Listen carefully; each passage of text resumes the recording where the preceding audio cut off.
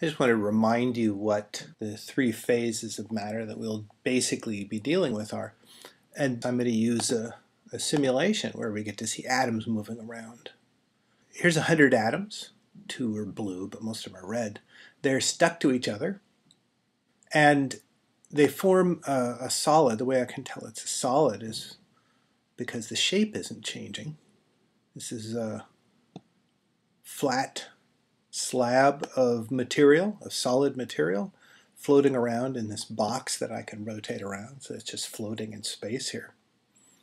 And the atoms are jostling back and forth just a little bit. They're moving just a little bit back and forth because the temperature is really low. And what I'm going to do is add energy, add heat, raise the temperature, and show you the three different phases and show you how they change around.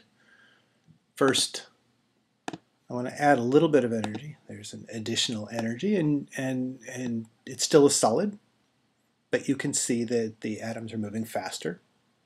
You're jostling around a little bit more. Still has the same shape. It's still a solid flat plate whose atoms are just moving faster right now. I can continue to add energy.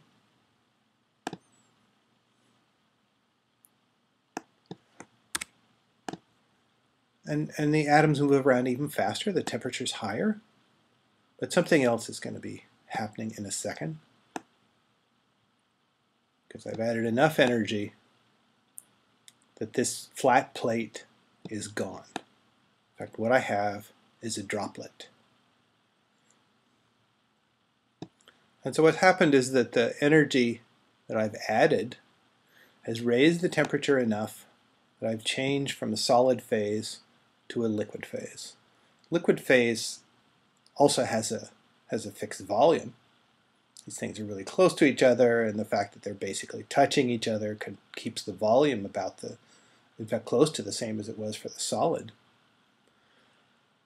But because they're not it's not ordered in a crystal. There aren't rows of atoms here. The whole thing is fairly disordered.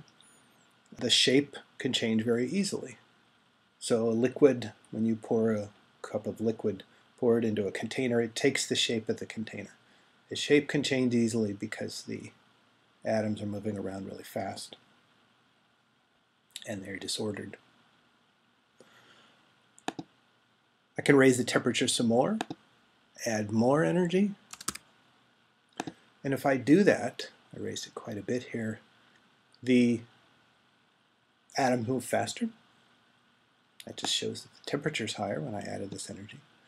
They move faster, still a liquid. I can add more energy, atom move around faster. You see every once in a while an atom flies off. And in fact, I might be getting close to the, looks like I'm getting close to the phase transition because more than just one atom has flown off. I have a little bit of gas in this container along with the liquid. Every time an atom flies off, atoms fly off, they get come back again. So there's kind of a, a few atoms here, not very many.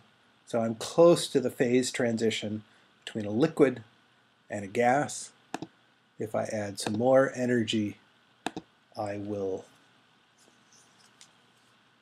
move through that phase transition. Phase transition is when I'm adding more energy right now. The phase transition uh, is when it turns from a liquid to a gas, boiling in other words. We already had one phase transition to a lower temperature when it went from a solid to a liquid. Now we're going from a liquid to a gas. Looks like more than half of it is still liquid. So the temperature isn't changing actually right now as it goes through this phase transition. I'm going to add some more energy. it almost looks like more than, well, maybe half of it is gas and half of it is liquid. I don't want to sit here and wait for equilibrium. I'm going to add some more energy. Now it's mostly gas. Maybe just a little bit of liquid left over. But it's mostly in the gas state. Add some more energy and just a little bit more so we don't. So it's clear that we're through that phase transition. And now it's a gas. The gas, the atoms take the shape of the container because they fill the container. So the volume depends on the container. You could call this a cube of gas. Uh, the atoms are very far from each other. They're not bound anymore.